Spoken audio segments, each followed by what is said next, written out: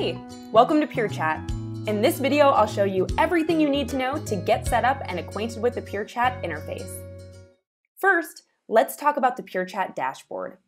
As a new user, this is where you'll spend most of your time starting and responding to chats.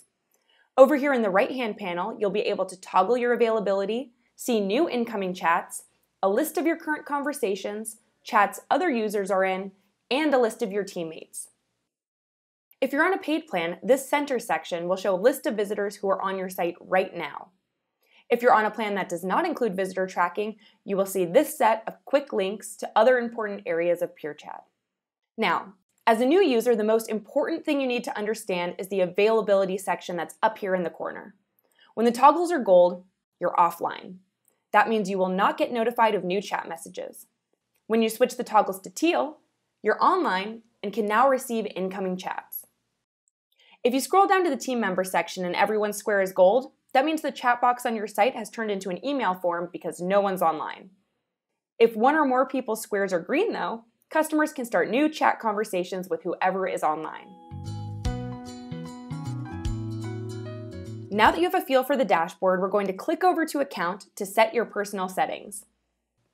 The first thing we're going to do here is add the image website visitors will see when they chat with you.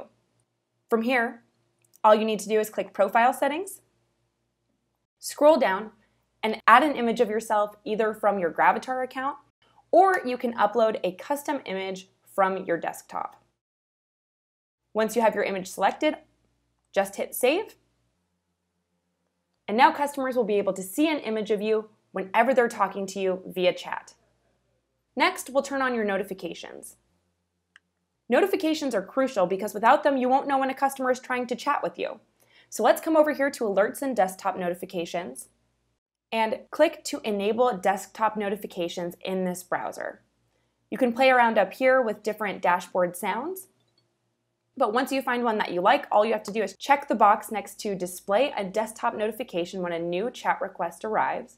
That means every time a new person is trying to chat with you, you'll get a notification that shows up right up here in the corner and you can check the box so that way every time someone sends you a new message, you also get a notification.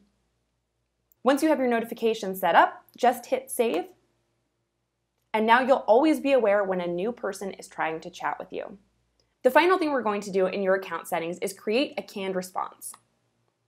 Canned responses are just saved answers to common customer questions. At this point, you may not know what kind of questions website visitors will be asking, but let's add a greeting so that way you can respond even more quickly. If you go up to New Canned Response, you can create a title, determine who will use this, and then type out the response.